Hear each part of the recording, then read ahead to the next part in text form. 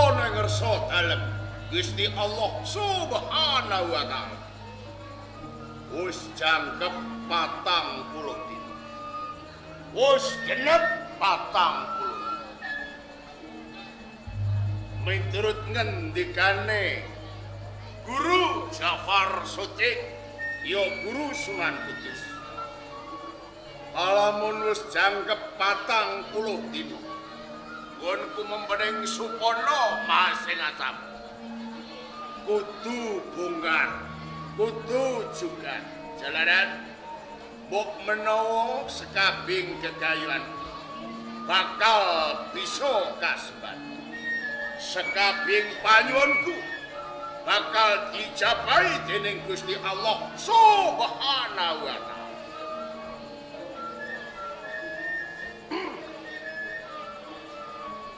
Romo Jafar Sutik Mitungkas. Romo Sunan Kudus Melik. Sakjroning aku semeti Sakjroning aku tafahur. Aku uga diparingi jecipan sing supaya njaga wida sing supaya njaga buku nanging welinge Rama Jafar Sutik senajan aku tinanggenah kajibah apatah cetane diperintah. Jaga buku nanging ora kena cedak ora kena nyedaki wida luwih luwih kok nganti muka. Luwih luwih kok nganti maca isine wida mbok menawa yen kadengangan Rama Jafar Hudin penangsang mesti bakal entuk nanging Rama Sunan Kudus sak sampunipun panjenengan mitungkas meling kalih penangsang yen ora kena buka ananing buku ora kena cedhak ananing wida saya adreng penggalih saya ora kuat ngampah. Anggonku pengenake apa isine wida iki? Apa surasane buku iki? Ora peduli ora idep senajan ing mengone Rama Jafar Sodik duka kelawan penangsang perkara iki tanggung. Sing bapakku pengen ngerti apa isine iki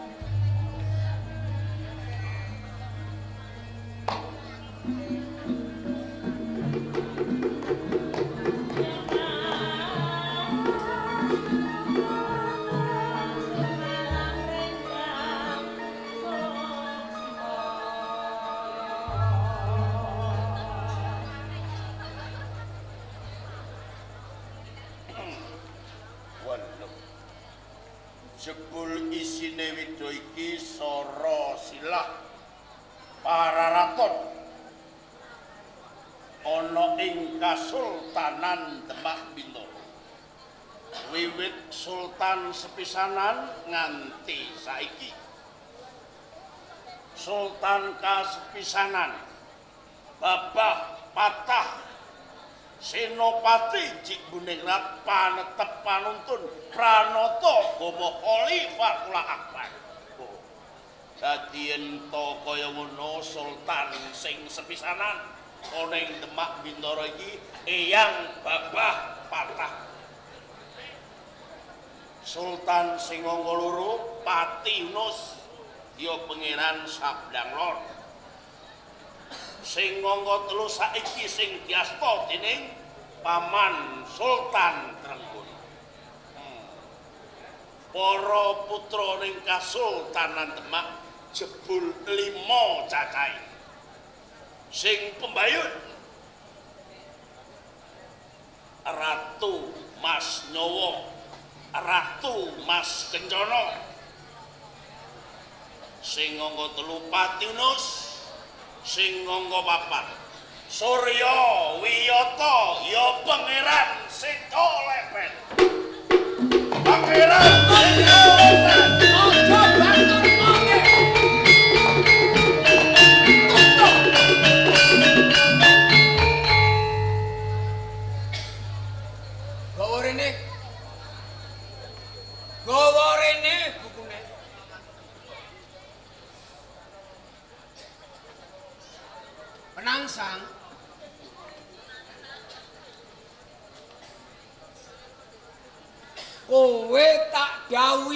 nggih?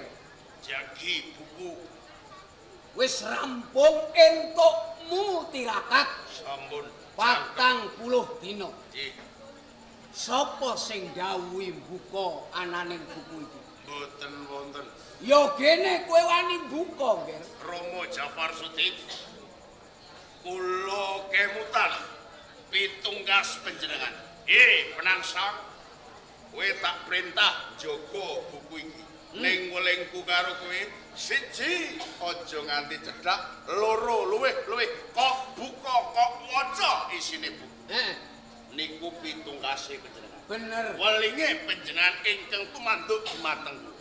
Nanging Rama Guru Jafar Sudik kados-kados mboten kiat ngampah. Atine penangsang selak agi-agi ngerti apa to isine buku kok nganti Rama Jafar Sudik nglarang kula buka buku niku. Nanging sak sampunipun buku kula buka isine silah para raton.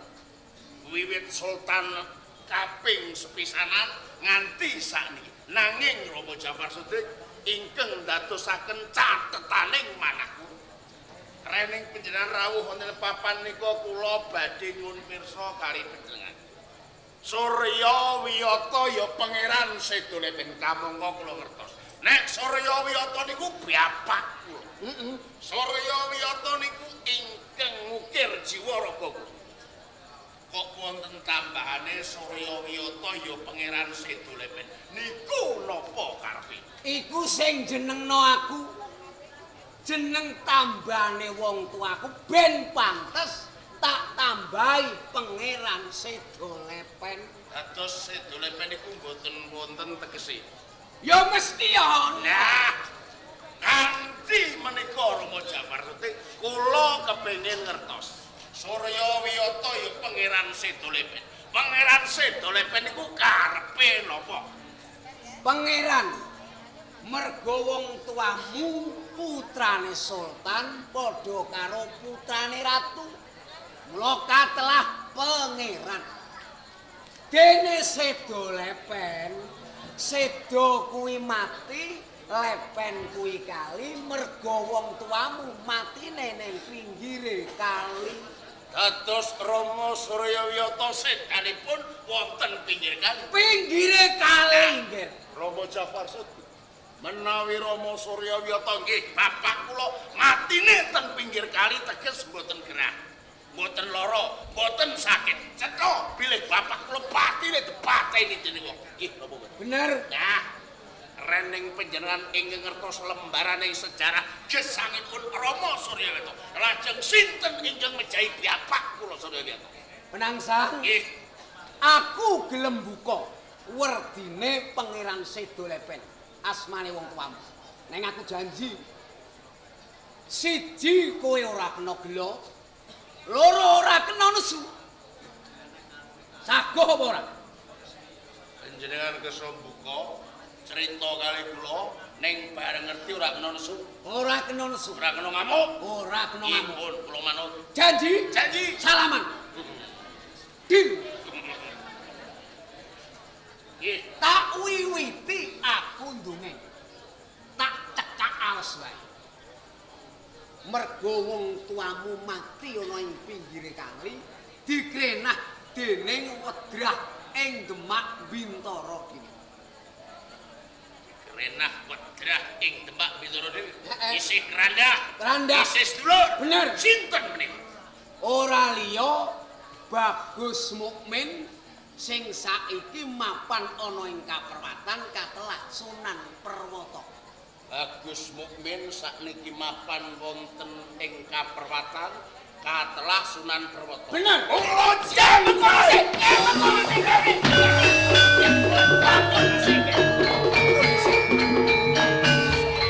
Omo Jawa Ilah illallah. Sabar. Surya ya Sabar. Kula anake. Nawaha Anak anake jenengan wong kok pateni janji janjine janjine janjine janjine janjine. Ora kena nesu. Yo kene kowe nesu nggih. Umpami panjenengan dados kula. Sampeyan dadi kula. Bapak Islam dipateni wong ngamuk napa boten? yo mesti ngamuk Nah, boten benten kali penangsang. Rama Surya Watu dipateni kali Bagus Mukmin. Mangko dhisik. Kali Bagus Mukmin. perkara gelo nesu ora mung kowe dhewe uga atiku gelo karo Bagus Mukmin Sebabe lho, nesu karo Bagus Mukmin perkarane mergo bojoku didemeni La ilaha illallah Muhammad Rasulullah. Dados Bagus Mukmin mentolo ndemeni garwane sampean. Nalika sadurunge wong tuamu tumeka pati, bojoku Nyai Sunan Kudus didemeni. Sampean kok boten ngamuk? Lho lho lho sing didemeni gelem aku kok kon ngamuk. Wateng. Nanging ikit-ikit raos sing manah. Benjang menapa kekarepan kula saged kasembatan mejahi kali Bagus Mukmin. Syukur alhamdulillah. Mula kowe nganti tak welet jaya kawijaya. Besok bisa mbales patine wong tuamu. Bak, Sunan uga tumeka pati.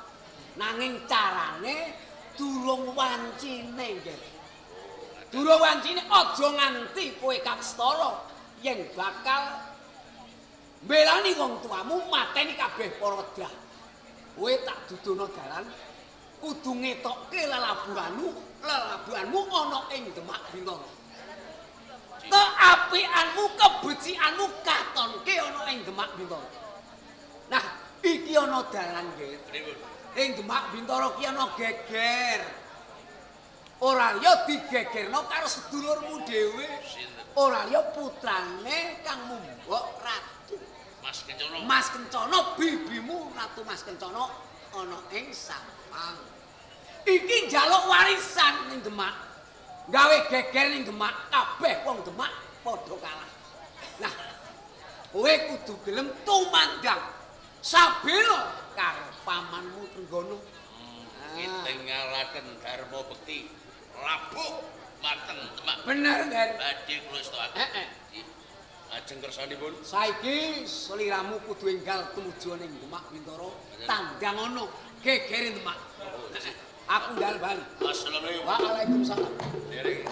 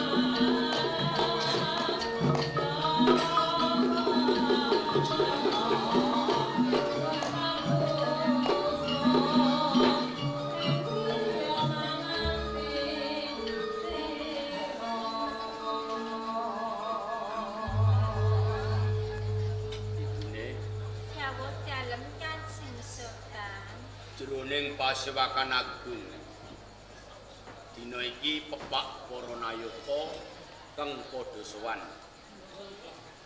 Mula dikepenake nggon wis tekaken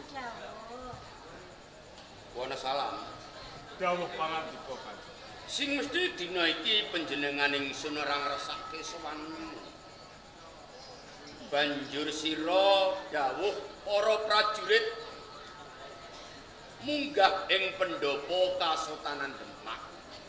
Ana wigati apa Wonosalam? Inggih nyadong duka ingkang kathah saderengipun. Ngantos kula wantun sowan punten usa panjenengan. Estunipun wonten bab-bab ingkang badhe kula aturaken usa panjenengan dalem Ngenani menyang ing Kaprajan Demak. inggih ngingingi bab katentreman wonten ing kasultanan. Coba matur Kang Prasojo. katemben kemawon kula ngepasi jagi katentreman wonten ing sak jawinipun rakah Kasultanan Demak Bintoro. Kadadak kadugen prajurit saking Kadipaten Sumenep ingkang dipun pandhegani dening Raden Pamekasan. Banjur karepe apa Wonosalam? Ing ujub Raden Pamekasan badhe sowan wonten ngersa panjenengan dalem. Apa ora kok jarwani? Inggih sampun. Kula ugi sampun paring dawuh yen to kalenggan nika Kanjeng Sultan Trenggana nembe kemawon ngawontenaken musyawarah agung kalian sedaya para dewan ulama dateng sinten kemawon senajan menika taksih kalebet wedrah boten dipun parengaken sowan. Iwa semanten Raden Pamekasan tansah puguh penggalipun piyambakipun meksa badhe lebet wonten ing dalem kasultanan. Sawetawis ngantos dadosaken congkrah. Pepuntonipun inggih sawetawis sedaya para prajurit kula unduraken. Kula ngeman sampun ngantos kathah pangorbanan Kanjeng Sultan. Dadine kalah. Inggih. Ya wis apa-apa. Kabeh mau hidup-hidup kanggo pandadaran kabeh para prajurit. Upamane nganti perkara iki kok bacutake. Mengko bakal karugian kabeh. Kaluhuran. Mergo ngopo? Pamekasan isih ulunanku dhewe. Nah, ah. Dene-dene yen to ing mangkune munggah ing pendopo Kasultanan Demak, mengko aku kang bakal paring dawuh kelawan ulunanku angger Pamekasan. kok kados ngaten. Assalamualaikum. Waalaikumsalam.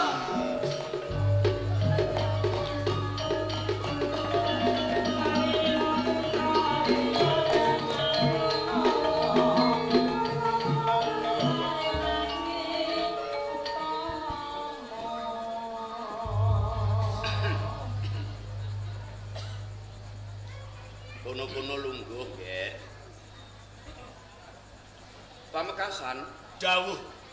saduruneng satata lungguh winantu Basuki sowanmu ing Demak. pangestunipun paman boten manggih aral setunggal menawa namung sungkem kula katur paman. Dak tampa pujiastuning paman lumurtura marang jeneng sira kula tampi mugian dadosaken jimat. Kajaba saka kuwi paman mundhut kanthi banget kadya keselametaning ibumu ya Kang Mbok Ratu Mas Kencana. pikantuk pangestunipun paman. Ibu seger waras boten nandhang sesakit. Syukur, syukur. Kajaba saka kuwi? Mbok ya upamane sira arep sowan ing Demak paman diaturi raketang layang sak suwek. Amarga sira wedrah ing Demak ing mangkone paman bakal utusan prajurit mapak marang sowanmu ing pendopo Kasultanan. nelakaken sewu gunging panuwun nanging menawi wonten kalepatanipun pamekasan kersa paman bedah gunging wila saha pangaksami bakal ndak apura upamane ana luputmu. Wigatine apa, Nggir? paman Hmm. pancen wigatos sanget. Jalaran kula ngantos kadreng kepengin pinanggih kalian paman sultan. Coba agi matur selak paman kepingin pirsa apa sejatine yen. Sowan kula wonten ngersanipun paman kepengin miter. Ngenani apa? Menapa benjang pamekasan? Menawi paman Sultan Trenggono sampun boten kuwali. Nyepeng pemerintahan utawi nyepeng kendalining pemerintahan wonten ing Kasultanan Demak. Pamekasan kuwawi jumeneng sultan. Pamekasan. Jauh. Pitakonmu aneh mungguing paman. Lamun to dina iki sira nyuwun pirsa kalawan paman. Besok sak suruting paman kira-kira pamekasan bisa dadi sultan. Ngono to? Ger. Paman ora bisa njawab pitakonmu. Sebab apa? Mergo jumeneng sultan, jumeneng ratu, jumeneng mukmin. Kuwi kudu entuk wahyu nur buate ngaji. Ngono. Dados jumeneng sultan kedah anggadhahi wahyu nur buat Bener, Ger. minangka dados pangarsa negari. Ora kleru. Paman, Heeh. menawi panjenengan boten saged mesthekaken pamekasan jumeneng sultan wonten ing Kasultanan Demak. Ya. Pancen niat kula kula badhe nyuwun warisanipun ibu sak propintenipun Demak. Pamekasan.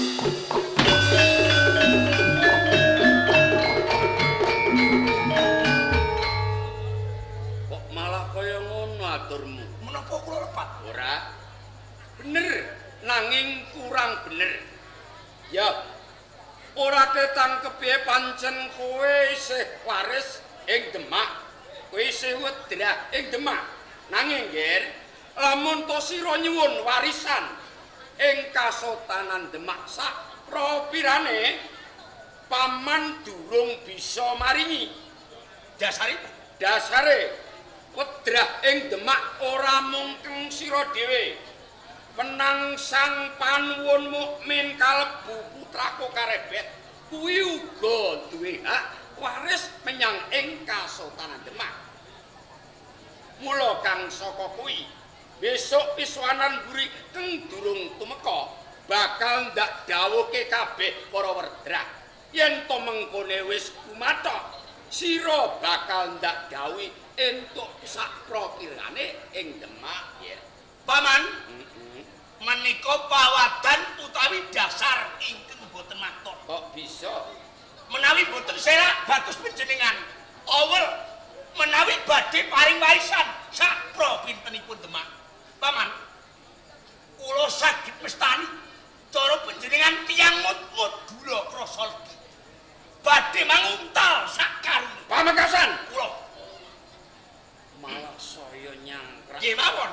ndelak laku anggege mangsa dadi tenane sowanmu ing Demak kowe meksa kelawan paman Nggih. kudune paring kelawan Menika ingkang kula antuan. Arepa kepiye wae pamekasan lamun to dina iki kepeksa paman durung bisa maringi marang sira Paman Trenggono, piye menawi panjenengan ngekahi bab warisan wonten ing Kasultanan Demak. hmm?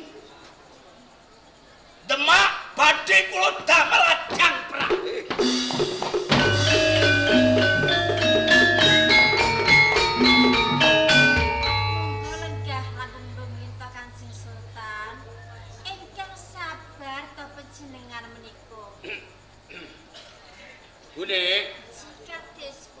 Coba ngatelke kuping ngabangke mripat to ature pulunanmu anggir pamekasan Sinoso kades pundi menika putranipun Kang Mbok Ratu Mas Kuncana. Anjing putra putra panjenengan piyambak Kanjeng Sultan. kono salam Dawuh, rewang-rewang ono mikir aku ya inggih Kanjeng Sultan. Rene kacetha ingkang putra pulunan tumindakipun kados ngaten. Rening Kasultanan Demak Bintoro menika kathah para pinisepuh, para dewan ulama. Inggih panjenengan utusan dhateng sedaya para prajurit supados ngrawuhaken sedaya para pinisepuh bab menika dipun sawarohaken dhateng sedaya para dewan ulama. Ngono. Eh prajurit, siji menyang ing Panti Kudus, siji menyang ing Kadilangu. Ya. Rama Kalijaga lan Rama Sunan Kudus dina iki ya aturana sowan menyang ing Demak. Serang Dirwoto dawuh dalem kandelipun pamit Sultan Bangsa.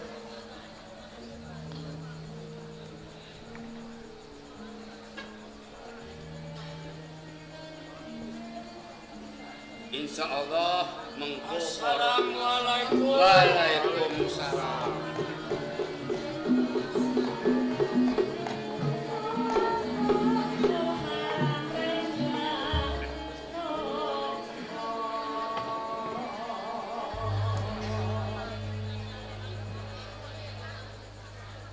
Romo Kalijuga Kanjeng Sultan sak sampunipun keca lenggahipun keparenga kula ngaturi pambagya panakrami pundi.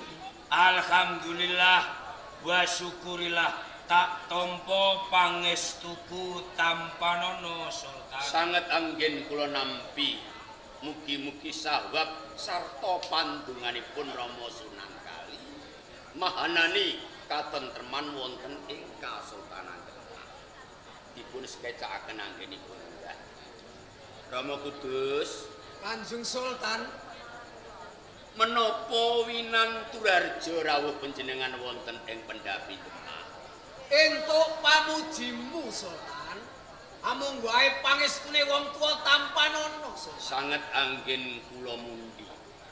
Rama Kalijaga lan panjenengan Rama Kudus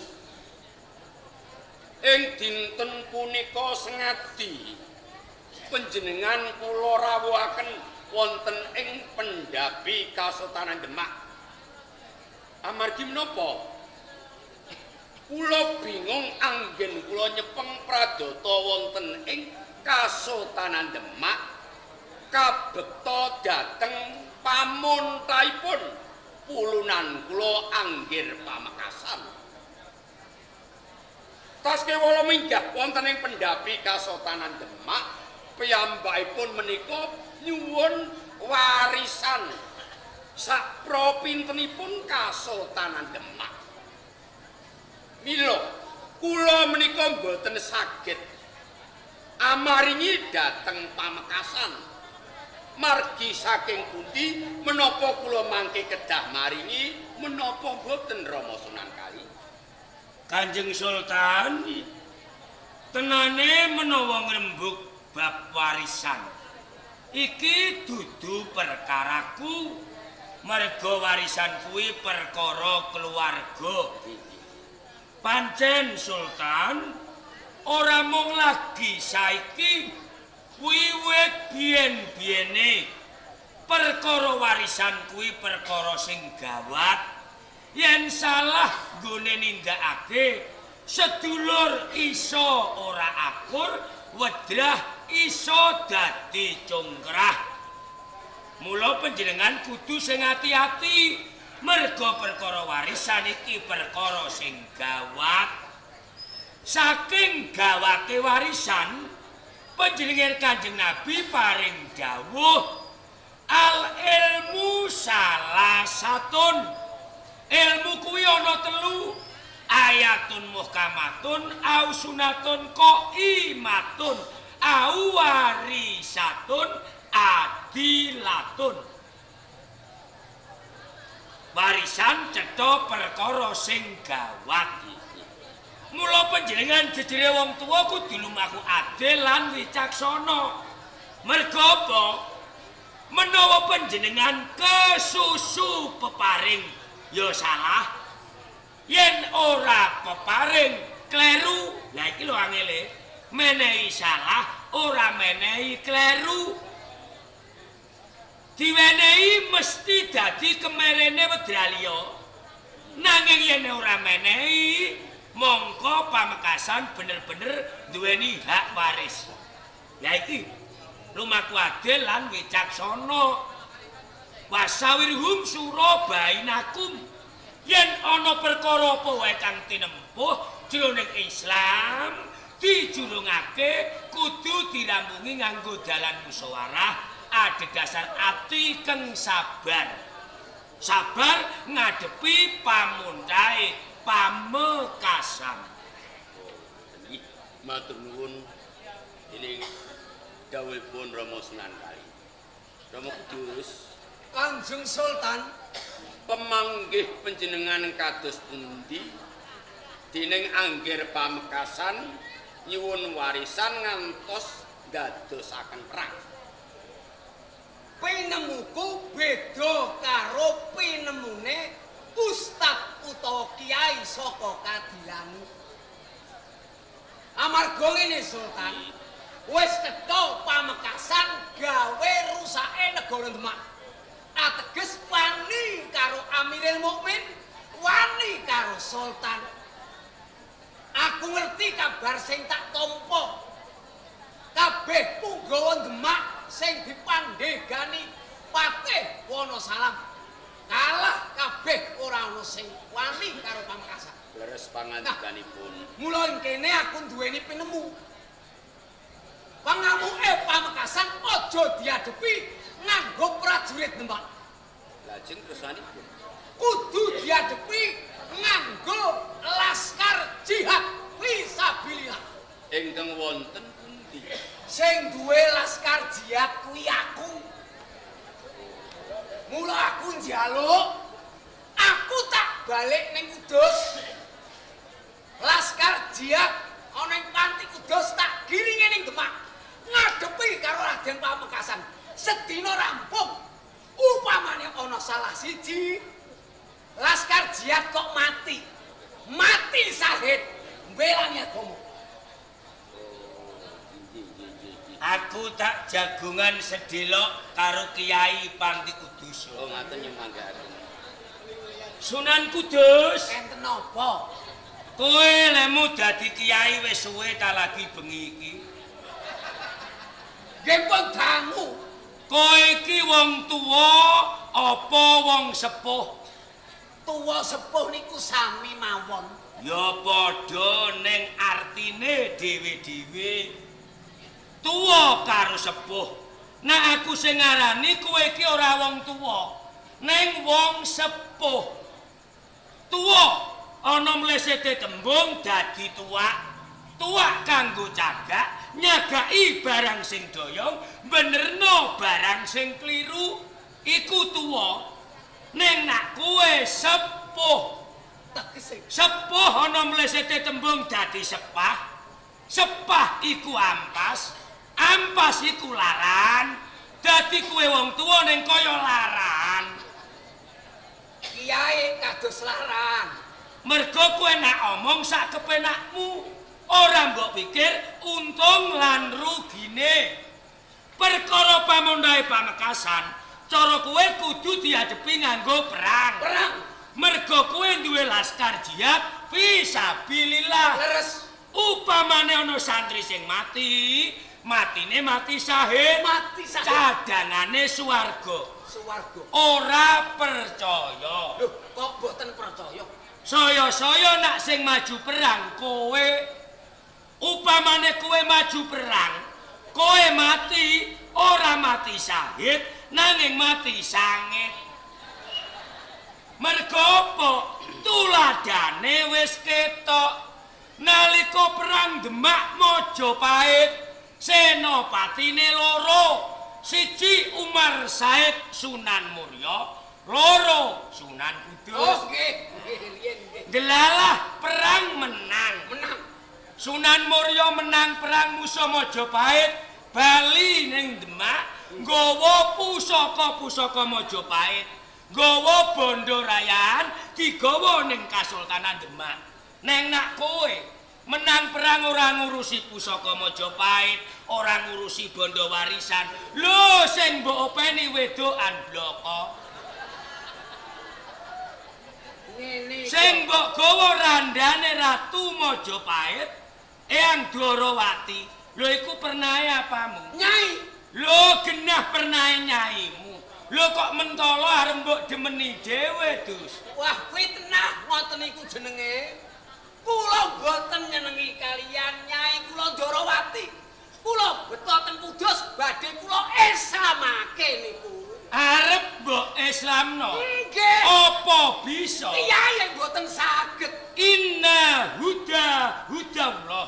Sak tenane pituduh kuwi sing kagungan Gusti Allah ora ana dongenge wong iso ngislamno wong liya. Selagine Kanjeng Nabi Muhammad iku wae ora iso ngislamno wong. Lho kuwe kiai, kiyaine ketoprak.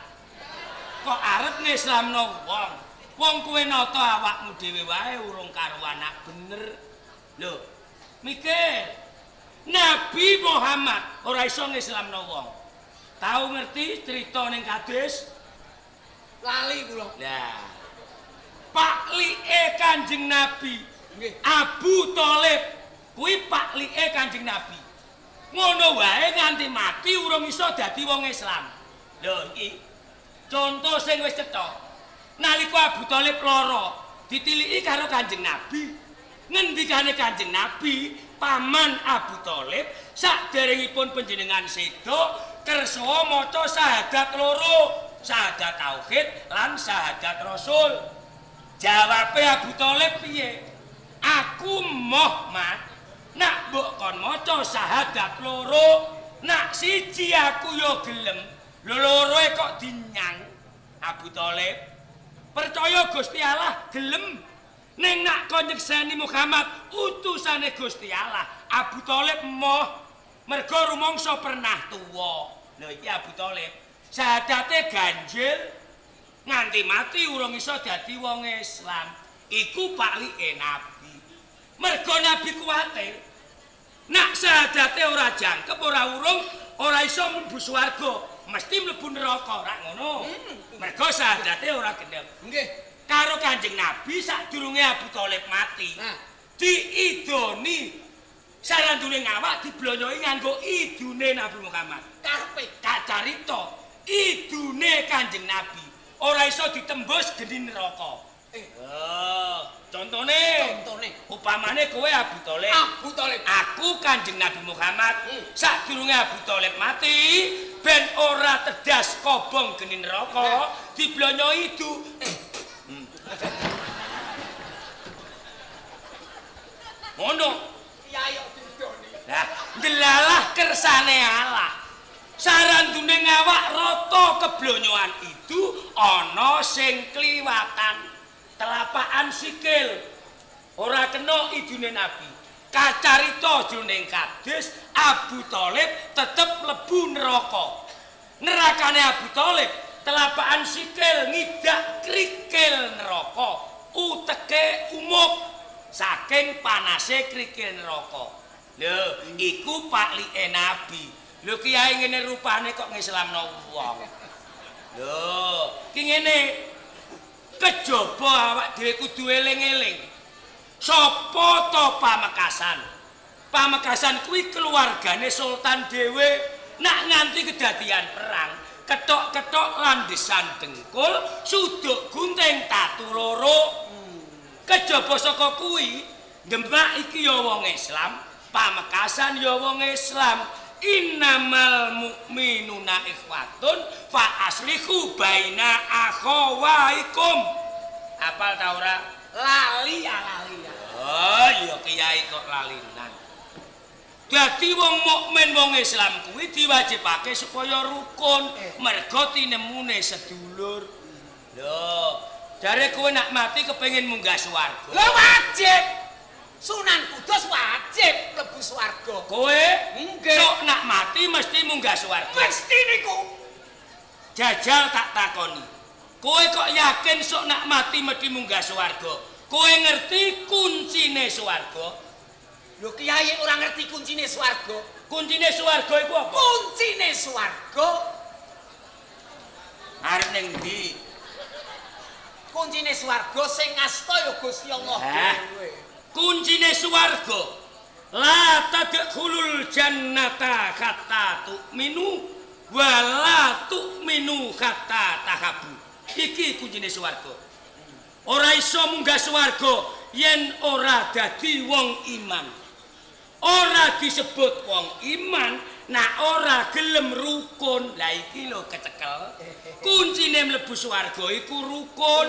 Mergo swarga ora iso dituku nganggo jeneng kiai. Sok ben kiai ning neraka ya akeh.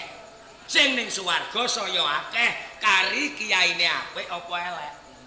Kaji ning neraka akeh. Sing ning swarga saya akeh.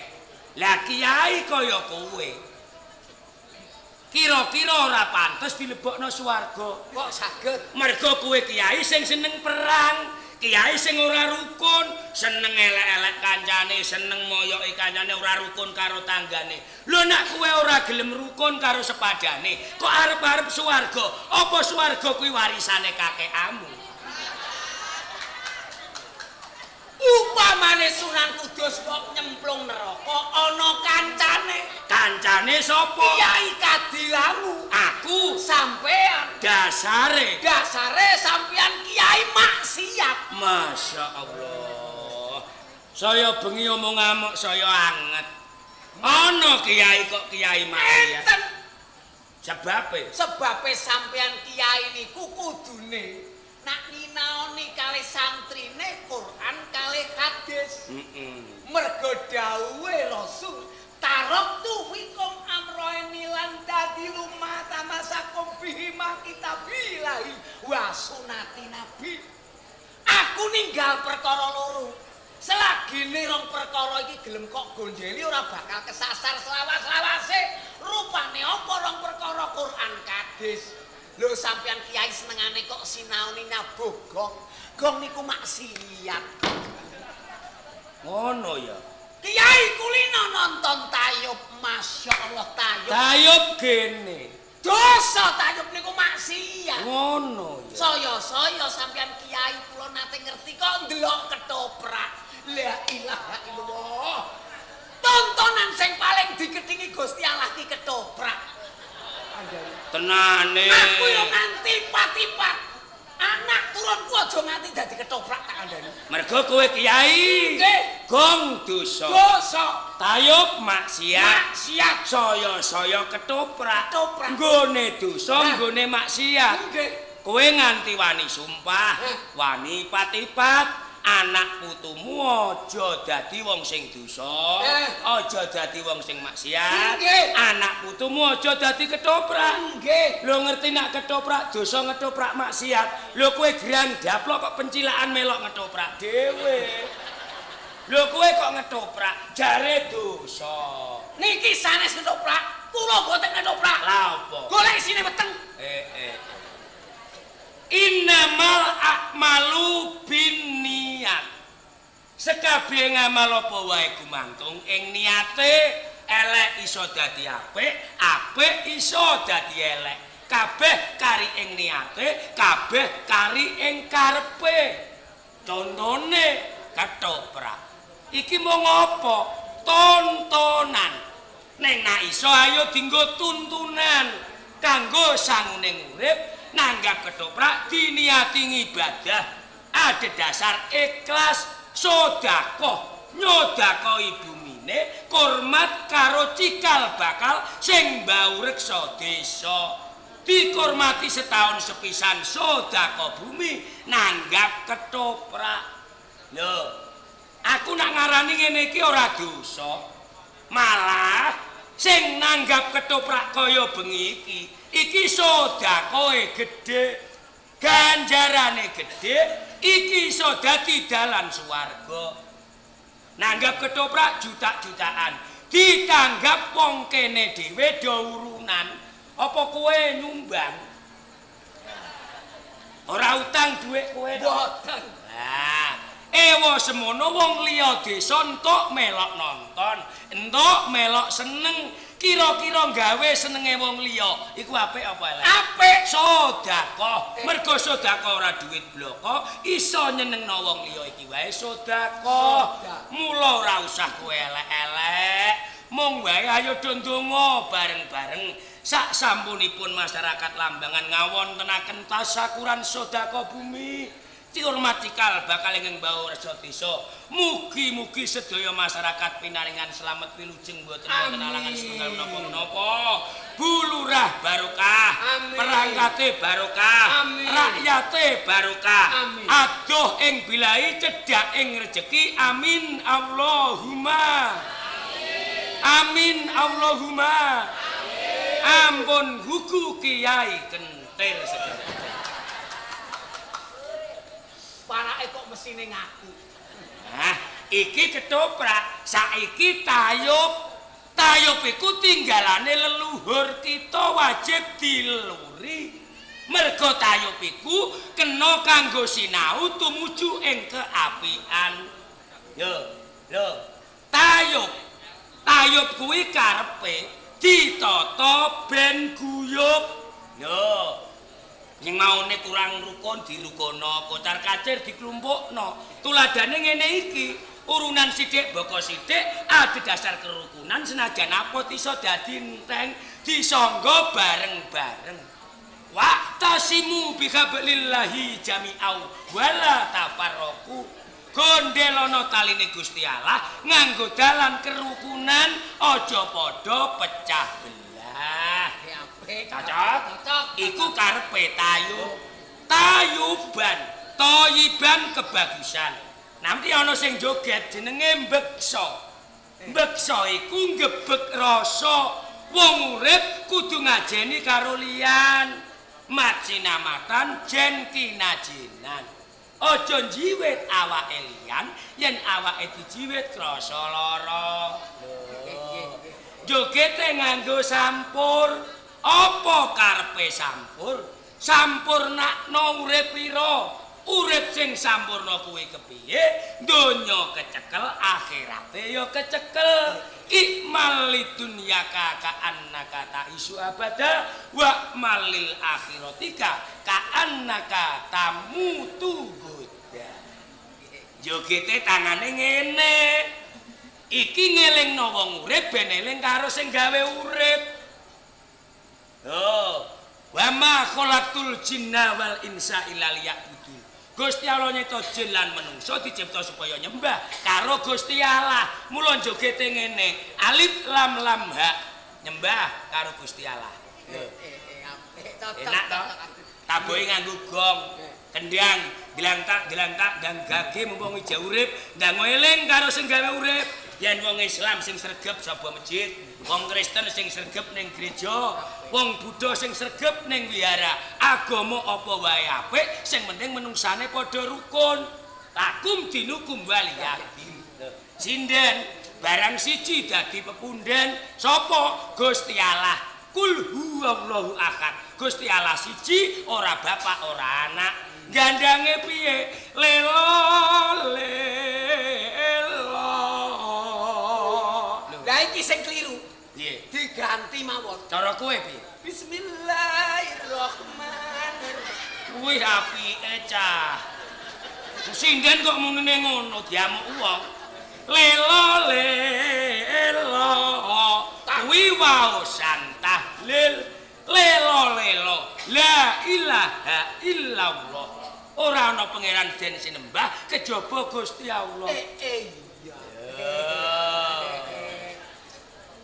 Enten sing kliwatan. Apa? Niku 60-60 niku napa? Pojokan. Nggih. Iku jenenge kenong. Unine. Nak ditabuh mesti to to. Nah. Apa sebabe unine kok to? Iku ngono ngelokno kowe. Kula boten kenal kali. Madani kowe, ning kowe ora krasa. To, to, kae lo cah, ana kiai ning kaya gento. Asline kaya ngono. Sunan Kudus sugih gento. Percaya nak kowe sugih. Sunan sing paling sugih kowe dhewe. Pabrik jarum. Kudus. Jambu bor. Kudus. Matahari. Kudus. Saking sugihe begenggean gribe. Sing elek mau ngaku. Ora kenal begengge aku. To, to kiai nanging kaya gentuk.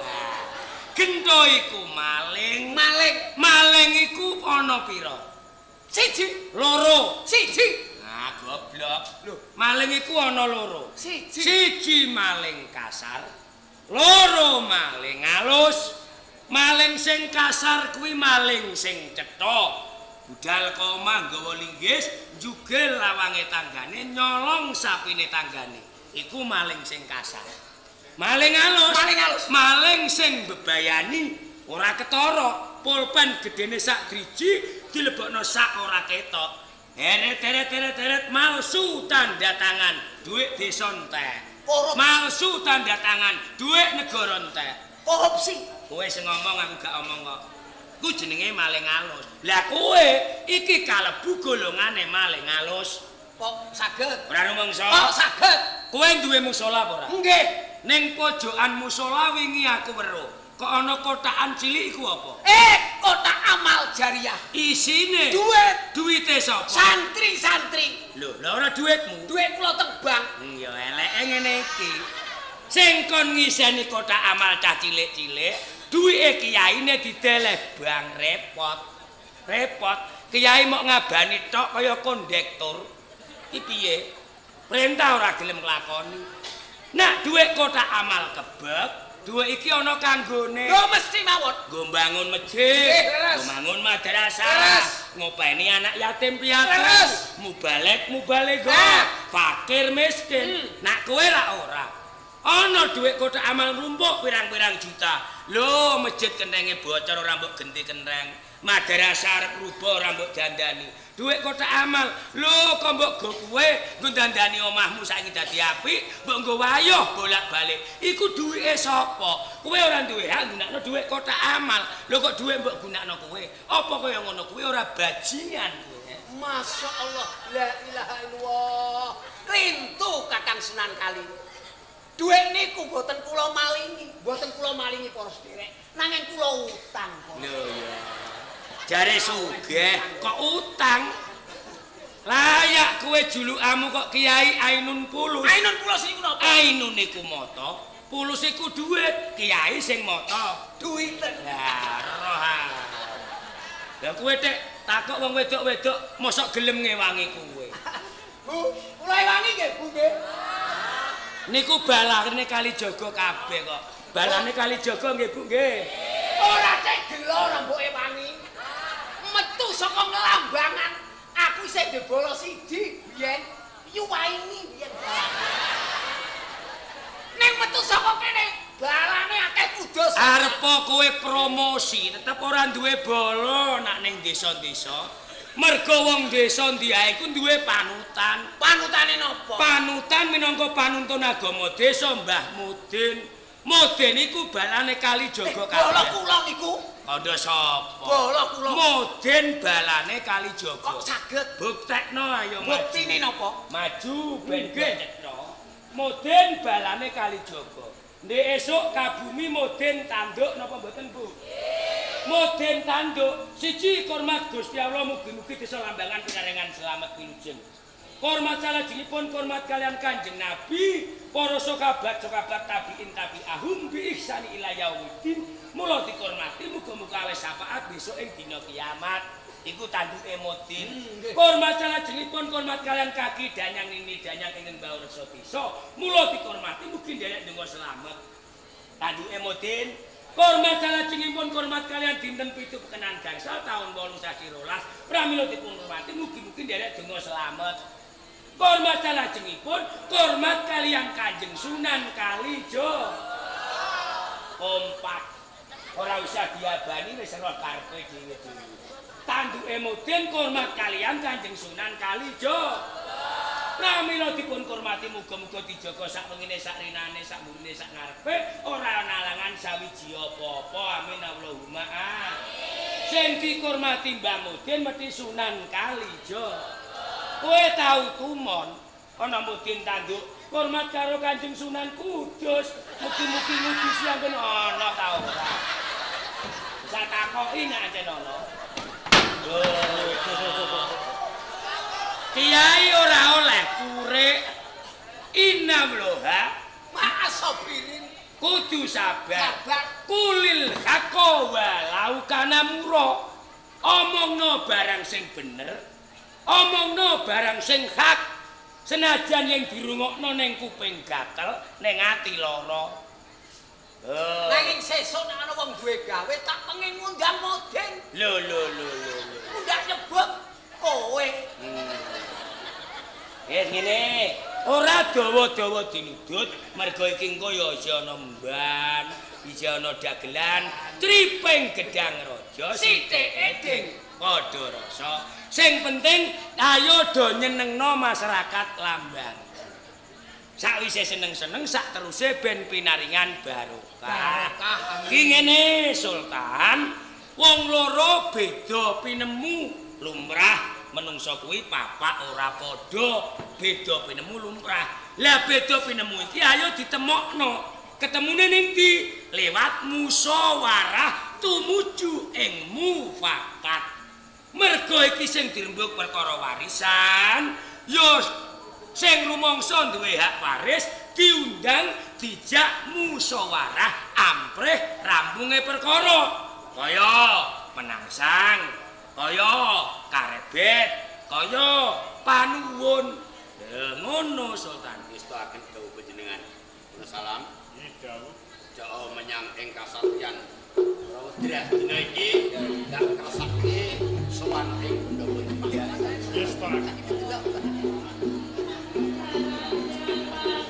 Muga-muga kanthi sarana kang kaya ngene. Waalaikumsalam.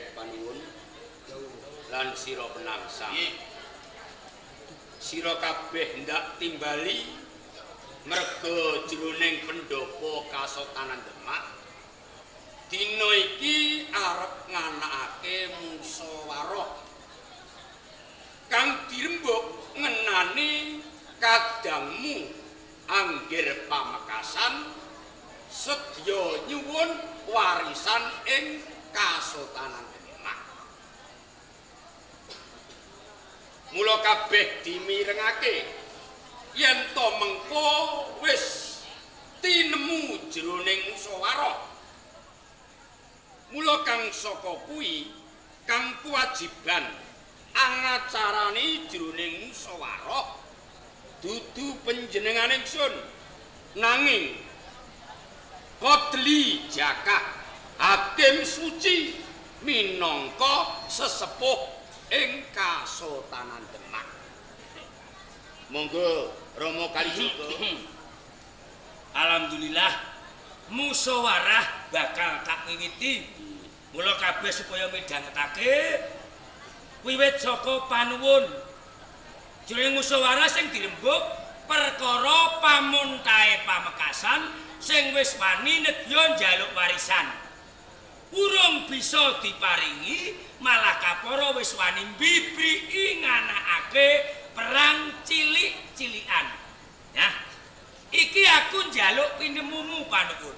Cara kowe rampunge perkara iki kudu diadepi nganggo perang apa nganggo cara bedamen. menawi saking pamanggih kula langkung prayogi ngangge cara bedamen kemawon. Milih bedamen ora perang. Alhamdulillah. Eling-eling dos milih bedamen.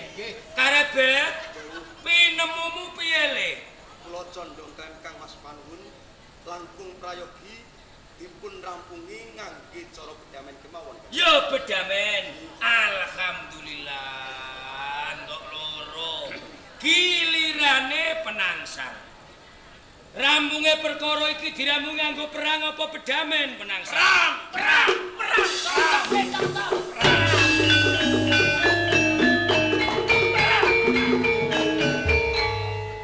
Kacang iku ora ninggal mbok rada saka wite. Gurune ngono murite ya tetep anut ngono. Menang sang nganggo dalan perang. Dasarmu apa? Dasaripun sampun cetha. Mboten mawas saka sinten kemawon. Luweh, luweh kesih dulur. Sinten ingkang damel kisruh, damel rese teng Demak. Bunuh. Wah, ganas iki ganas. Kejem. Sopo nggawe kisruh? Sopo nggawe rese? Ora idep sedulur, bunuh. Bunuh. Penang sang kok cah. Ya. Nah iki ngene, musyawarah. Kuwi swara sing akeh sing menang. Ya ora? nggih, leres. Mula ing kene cara tembung menterenge bakal tak voting. Tak jipuk swara sing akeh. Nggih. Sing milih nganggo cara pedamen, aku njaluk supaya ngacungake tangan. Hitung dus. Jiloro telu papat lima enam. 6. Mudun. Sing milih nganggo perang ngacung. Ngene iki lho lah apa. Wong tuwa kok iso pencilaan. Yo ngacung yo ngacung. Lah wong tangan darah yo cukup lho kok sikil melok ngacung. Rumangsamu nak sikil-sikil mbok ancungno tak hitung akeh. Tetep tak hitung siji mergo nyawamu mung siji. Ha ngono ha? Nggih, nggih. Loro karo 6 akeh ndi? Kathah enam. Sing menang 6. Enam. Jroning musyawarah swara sing akeh sing menang, turta wenang gawe aturan. Mula ing kene atas asma Amiril Mukmin Sultan Trenggono dikuati Kodli Zakah Hakim Suci nemtokake rampunge perkara pamuntayana angger pamekasan kudu diramungi nganggo sarana dalan pedamen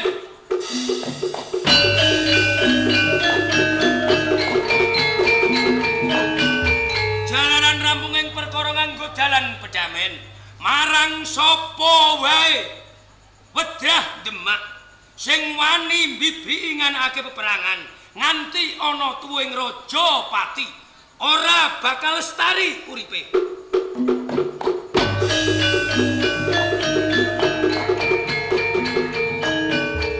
Musyawarah rampung mung kari utusan karo bocah-bocah. Matur nuwun. Panuwun karebet lan penangsang. Cetolan gamblang nggonira kon mirengake dawuh pangantikane Rama Kalijaga. Mula dina iki ripeh ana kadangmu angger pamekasan. Tindake dawuh. Budale. Suwuk riyen kula. Suwuk. Kok dadak nganggo suwukan bareng. Nuwun disuwuk kula ben slamet. Eh ngono. Nggih. Ayo mapan kene tak suwuk. Minas eh kentir Sing tak suwuk ki kowe. Njaluk suwukan apa le? Pengasian. Karepe piye kok pengasian? Kula pinanggih kalih Kang Mas Pamekasan. Kula tamani aji pengasian mboten sios gelut ning purun kula swana. Luluh. Luluh. Tak golekno pengasian sing ampuh. Rungokno ya. Tirokno ya, Lek. Nggih. Bismillahirrahmanirrahim. Sakniki Sobodo. Ya saiki. Bismillahirrahmanirrahim. Bismillahirrahmanirrahim. Niat ingsun Niat ingsun matek aji. matek kaji Tirati. irati Asale menungso saka banyu suci. asale menungso saka banyu suci Metune saka sela-selaning ati. matune saka sela-selaning ati Yen tumiba ning lemah gegilane. nek tiba ning lemah gegilan Yen mlebu weteng dadi bayi, nggih. rapal kok medeni cah cilik-cilik Marai kowe. Boten sios pengasian Aji alas kobar Aji kok alas kobar. alas kobar Alase wis entek. Alas kobar. Alas kobar. Mas Pamekasan diripik srana ora kene. Ampane alas kobar ben kopo. Eh ngono. Bismillahirrahmanirrahim. Bismillahirrahmanirrahim. Mate kaji. Mate kaji. Alas kobar. Alas kobar. Ngarep omah jenenge latar. Arep omah jenenge latar. Ndok digoreng jenenge dadar. Nek digoreng jenenge didadak. Sikil pitik jenenge cakar. Sikil pitik jenenge cakar. Sambar bledek mesti modal.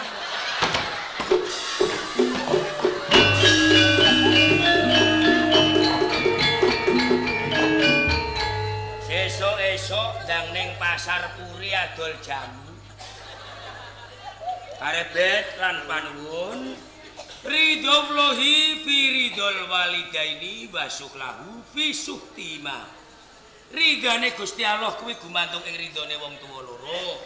Murkane Gusti Allah gumantung ing murkane wong tuwa loro. Cekane dongane wong tuwa kuwi mandi njaluk pangestu karo para pinisepuh ben entuk keselamatan.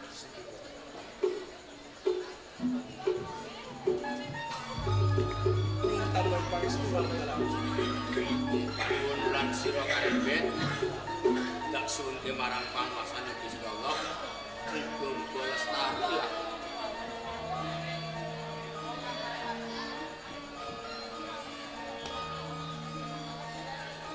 Yen tambang pangestu bae. Muga-muga selamat.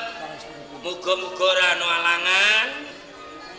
Aja lali jaluk pamit. Jaluk pangestu karo Sunan Kudus. Nak menawa ije kebagian sisa cakar. Kono bareng